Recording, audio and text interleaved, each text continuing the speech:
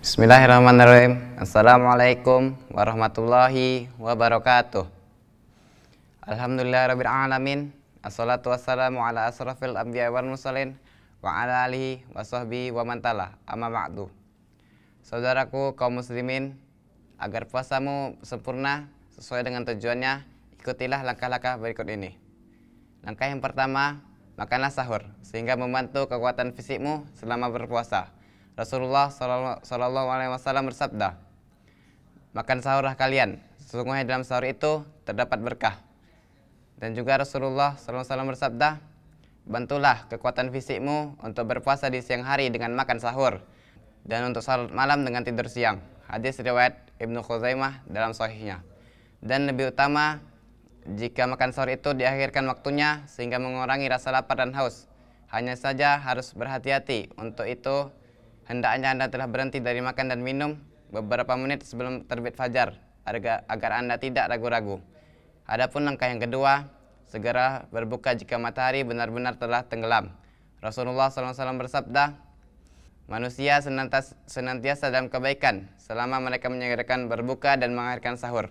Hadis riwayat Al-Bukhari, Muslim dan At-Tirmizi.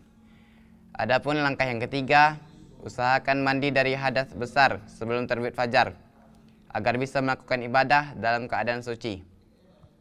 Adapun langkah yang keempat, manfaatkan bulan Ramadan dengan sesuatu yang terbaik yang pernah diturunkannya di dalamnya, yakni membaca Al-Quran Al-Karim.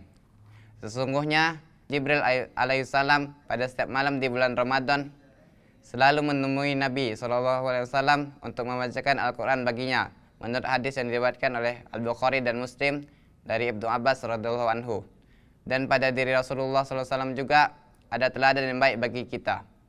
Adapun langkah yang kelima, jaga lisanmu dari berdusta, menggunjing, mengadu domba, mengolok-olok, serta perkataan yang mengada-ngada. Rasulullah SAW bersabda, Barang siapa tidak meninggalkan perkataan dan perbuatan dusta, maka Allah tidak butuh terhadap puasanya dari makan dan minum. Hadis riwayat Al-Bukhari.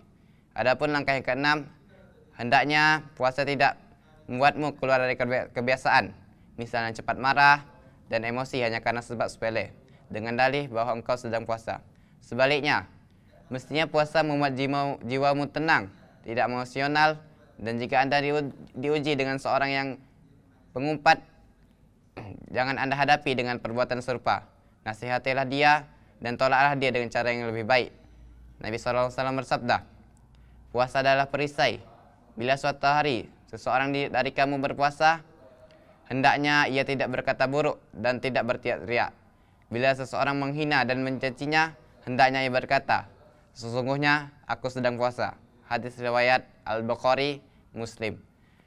Ucapan itu dimaksudkan agar ia menahan diri dan tidak melayani orang-orang yang mengumpatnya. Di samping juga mengingatkan agar ia menolak melakukan penghinaan dan caci maki.